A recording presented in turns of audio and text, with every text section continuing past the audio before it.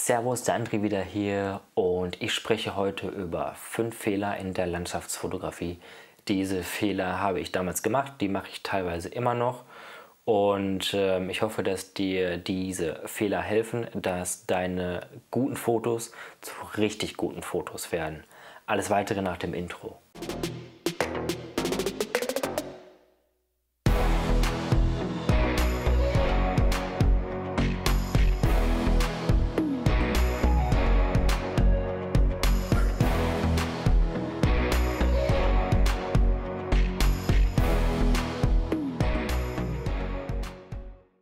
Fehler Nummer eins, den du machst, du nimmst deine Kamera oder dein Smartphone und fotografierst einfach so auf Augenhöhe.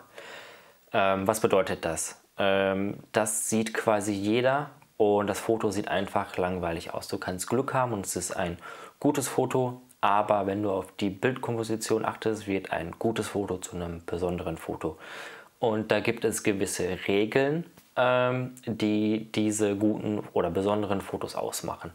Regel Nummer 1 ist die Drittelregel. Das bedeutet einfach, du packst ein Objekt in den unteren, äh, in den unteren Drittel oder in das obere Drittel ähm, machst dazu einfach die Hilfslinien in deiner Kamera an, dann ist das Display auf neun Felder eingeteilt und ähm, die helfen dir einfach, dass du die Drittelregel einhältst. Neben dieser Drittelregel gibt es sogenannte führende Linien und führende Linien sind dafür da, damit der Blick des Betrachters quasi in das Bild gelenkt wird und ähm, die machen ein Bild interessanter. Führende Linien können zum Beispiel ähm, Straßen oder Wege sein, können äh, Holzstege sein oder aber auch ähm, ein Fluss oder ein Bach, der quasi in das Bild hineinfließt. Ein weiteres Stilmittel, wie du dein Bild interessant gestalten kannst, sind äh, Reflexionen. Hier zeige ich euch mal ein Bild von Island, das ist das Vestrahorn und ähm, hier spiegelt sich das Vestrahorn vorne in der Pfütze. Wir hatten schlechtes Wetter, das heißt das Wasser war nicht ganz ruhig, aber man erkennt trotzdem so eine leichte Spiegelung und das macht das Bild einfach interessanter. Wenn du eine ganz glatte Wasseroberfläche hast und äh, sich das Objekt dann darin spiegelt, dann wirkt das noch imposanter. Ähm, man kann das Wetter nicht beeinflussen, deshalb muss ich dieses, mit diesem Bild äh, leben und ich finde diesen Moody Look tatsächlich ähm, sehr interessant, auch wenn die Reflexion nicht zu 100% da ist. Die nächste Regel, wenn es um die Bildkomposition geht, sind äh, quasi Störer im Bild. Ich persönlich arbeite super, super gerne mit Störern, weil ähm, für mich wirkt das Bild einfach interessanter. Und äh, Störer können zum Beispiel Elemente im Vordergrund sein, die unscharf sind, wie auf diesem Bild hier. Ähm, der seht ihr einen Papageientaucher, der sehr zentral in dem Bild ist. Und weil, wenn der Papageientaucher alleine gewesen wäre, wäre, es, wäre das Bild wahrscheinlich langweilig gewesen. Und ich habe einfach ein paar Grasbüschel vorne mit ähm, eingebaut, sodass das Bild interessanter wird. Dasselbe ist bei dieser Kirche hier auf Island. Da habe ich einfach Störer mit eingebaut, die ähm, quasi den Blick des Betrachters auf die Kirche lenken. Neben diesen Störern im Vordergrund kannst du allerdings auch auf einen schönen Vordergrund aufbauen. Das heißt, ähm, du baust ein Bild so auf, dass du einen schönen Vordergrund hast und der Blick wird dann von dem Vordergrund quasi auf das ganze Bild gelenkt. Hier ist mal ein Beispiel, was ich auf ähm, Ventura dieses Jahr aufgenommen habe. Im Vordergrund ähm, habe ich quasi eine Steinformation fotografiert, die ist ja zentral in der Mitte und ähm, die geht dann quasi ins Bild hinein und ähm, der Blick wird dann auf den Himmel des äh, Fotos gelenkt.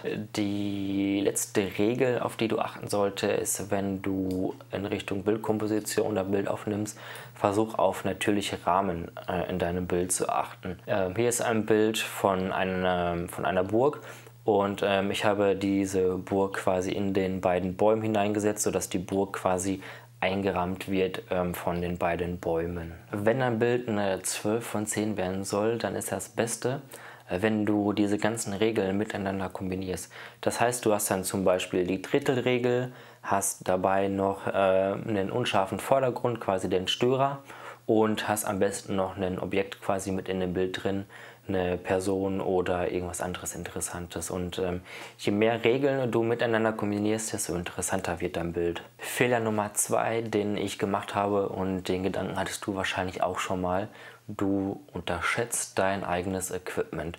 Du guckst dir wahrscheinlich YouTube-Videos an und siehst die ganzen YouTuber, die immer das teuerste Equipment haben.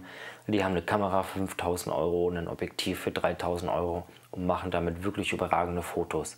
Das muss aber nicht so sein. Du kannst auch Fotos mit einem äh, günstigen oder sogar vielleicht sogar einem gebrauchten Weitwinkelobjektiv machen. Ich hatte das Tamron 20 mm, habe mir das gebraucht ähm, gekauft, hat ähm, glaube ich 150, 170 Euro kostet das aktuell und ähm, damit kannst du super tolle Fotos machen. Wie gesagt, du musst nicht immer das teuerste Equipment haben, sondern lern einfach dein Equipment kennen.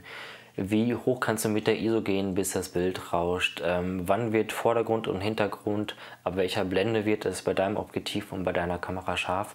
All das sind so Sachen, ähm, auf die du achten kannst und ähm, dann brauchst du halt nicht immer das neueste und das teuerste Equipment. Den dritten Fehler, den du machen kannst, du kennst einfach die Grundlagen der Fotografie nicht. Wie ein Musiker äh, Noten lesen muss, solltest du die Grundlagen der Fotografie kennen. Du solltest wissen, was eine Blende ist, du solltest wissen, was die ISO ist und du solltest wissen, wie die Verschlusszeit zum Beispiel ein Bild beeinflusst. Du solltest vielleicht sogar ein Histogramm lesen können, damit du weißt, wie das Bild richtig belichtet ist. Wenn du das alles verstehst, dann weißt du zum Beispiel auch, wann der Hintergrund scharf ist, ab welcher Blende und du kannst ein Bild so beeinflussen, dass der Vordergrund äh, unscharf ist. Bevor du mit der Fotografie startest, solltest du diese drei Elemente verinnerlicht haben. Das heißt, du weißt, was die ISO ist, was die Blende ist, was die Verschlusszeit ist und äh, wie die aufeinander einwirken. Fehler Nummer 4, den du machst, du schaust dir einfach viel zu viele YouTube-Videos an. Du musst dich natürlich vorher informieren, ähm, wie das Ganze funktioniert, Blende, ISO, Verschlusszeit, Histogramm, die ganzen Regeln, aber du flüchtest dich da so ein bisschen drin und hast Angst davor, rauszugehen und einfach Fotos zu machen. Wahrscheinlich hast du irgendwie Respekt davor, du möchtest nichts falsch machen, aber genau das ist das, was sich dann weiterbringt. Ähm, wenn du die Grundlagen verstanden hast, dann schnapp dir deine Kamera und geh raus. Wenn du spazieren gehst, nimm die Kamera mit. Wenn du mit dem Hund gehst, nimm die Kamera mit. Und ähm, ich habe es damals so gemacht, ich ähm, bin rausgegangen und habe mich bei jedem Spaziergang, den ich gemacht habe, hatte ich die Kamera dabei und habe mich immer nur auf eine Sache konzentriert. Das bedeutet, ich habe einen Tag nur den Vordergrund scharf gemacht und habe den Hintergrund unscharf gemacht. Bei dem nächsten Spaziergang habe ich dann zum Beispiel nur auf Drittelregeln geachtet und ähm, bei dem übernächsten Spaziergang habe ich dann nur auf die Verschlusszeit geachtet. Bis zu welcher Verschlusszeit zum Beispiel kann ich, die, kann ich die Kamera ruhig in der Hand halten, ohne dass die Fotos verwackelt werden. Und ähm, klar machst du Fehler und diese Fehler sind auch gut, weil du einfach aus diesen Fehlern lernst. Also, stopp das Video, wenn es zu Ende ist, lass vorher noch einen Daumen da, schnapp dir die Kamera, geh raus, mach deine Fotos, mach Fehler und lern daraus. Den letzten Fehler, den es in der Landschaftsfotografie gibt, ist die Bildbearbeitung. Es ist im Grunde kein Fehler, aber Bildbearbeitung ist bei Fotografen wie Yin und Yang. Die einen lieben es und die anderen hassen es. Ähm, ich persönlich finde Bildbearbeitung in der Landschaftsfotografie bzw. generell in der Fotografie finde ich super, weil ich dadurch mein Bild einfach nochmal besser verstehe, wenn ich es dann am Rechner bearbeite.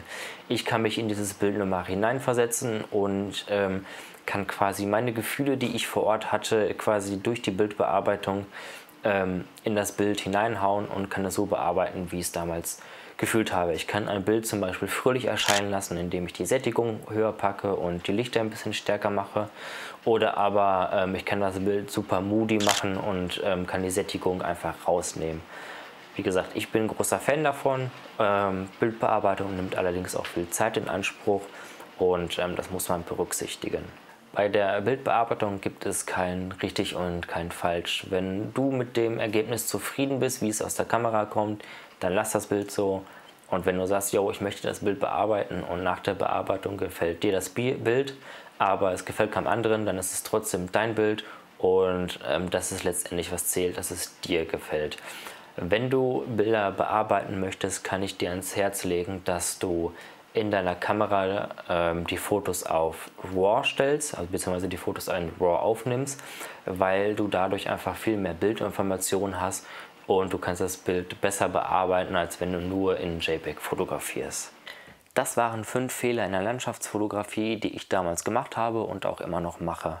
Ähm, wenn du die Grundlagen kennst, du weißt, wie man ein Bild aufbaut, du kennst die ganzen Stilmittel wie Reflexion, Drittelregel etc., dann schnapp dir jetzt deine Kamera, geh raus und mach aus einem guten Foto ein wirklich besonderes Foto. Doch bevor du rausgehst, warte noch einen Moment, schreib mir doch gerne in die Kommentare, wie du das Video fandest, ob du diese ganzen Fehler ähm, kanntest und ähm, darüber würde ich mich tatsächlich sehr freuen. Ich hoffe, wir sehen uns im nächsten Video. Bis dahin wünsche ich dir allzeit gutes Licht als Fotograf und ähm, bleib gesund. Ciao.